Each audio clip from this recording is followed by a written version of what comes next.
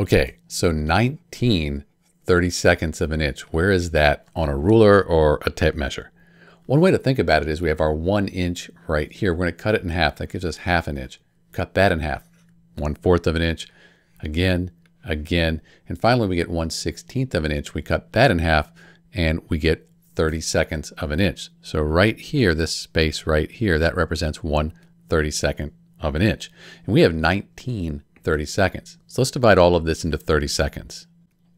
And we have 19 30 seconds. So there are 32 pieces here. We're going to count 19 of them. 1, 2, 3, 4, 16, 17, 18, 19.